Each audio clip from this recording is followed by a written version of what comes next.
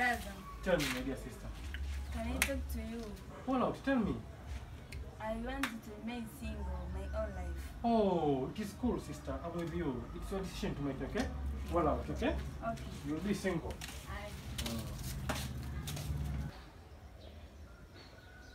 Mbona oh. kama sielewi hivi hichi kitabu? Mbona huyu panzi anaruka sambasoti? Eh, lakini shule jamani, hii mem kwa hii itaniua. Ngoja kwanza nipate maji mnisafisha kona ili joto joto. We, nani tabu? Abe. Hebu ufanye kuletea maji ya baridi. Hai. Nipate pata kunywa mdogo wangu. Sawa. Maana kachua kakali yaka. Eh, chura naye anaruka samba sauti huyu. Kuku ndio usiseme kichwa chini miguu juu. Au nimekosea huyu kuku vipi? Ah, sasa mdogo wangu. Eh, kweli umeniweza. Hebu kaa kwanza hapo na tuongee. Maana na mwenyewe sikuelewi. Kama hichi kitabu sikielewi na sikuelewi. Hivi mdogo wangu.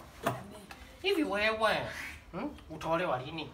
Maana kila siku nakuonaona hapa unanichosha tu, sikuelewi. Na unajua kabisa maisha yetu sisi hapa hayako poa. Eh? Na Hata yani ni kuangalia thamani yako ni hata tukipata hata tung'ombe tuwili kwa jinsi ulivyo tu.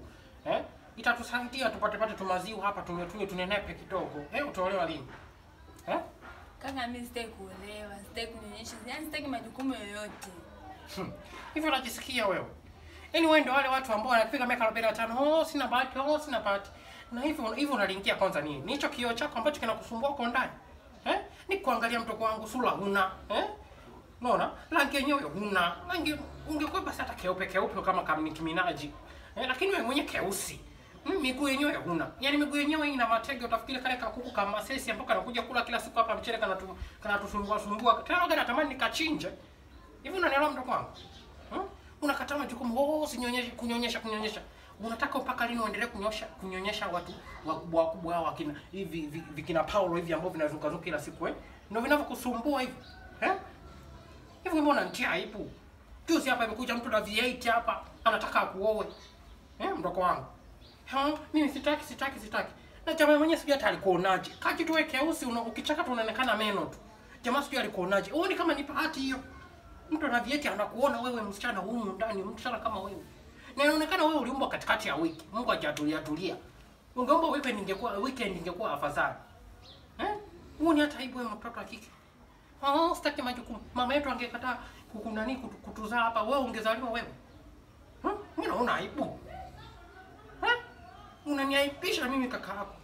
Kwa hiyo utaendelea kukulia hapa. Eh? Bosi hata bora hata akili ya darasani ingekuwepo. Na akili nenyewe huna mtoko wangu. Hii, Huna.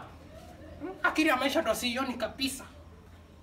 Eh? Na potote, oh, mimi siolewi. Eh?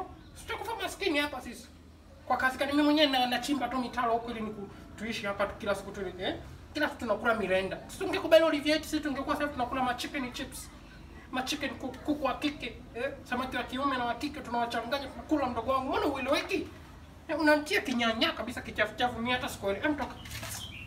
Toka. yani tena Yes, na nakupa mwezi. Usipoolewa unatoka kwangu unarudi kijijini. Sikutaki hapa. Naona kama na- naalisha tu kitu kwa hasara hapa. Mimi nataka faida. Nataka faida mimi nione. Hem toka.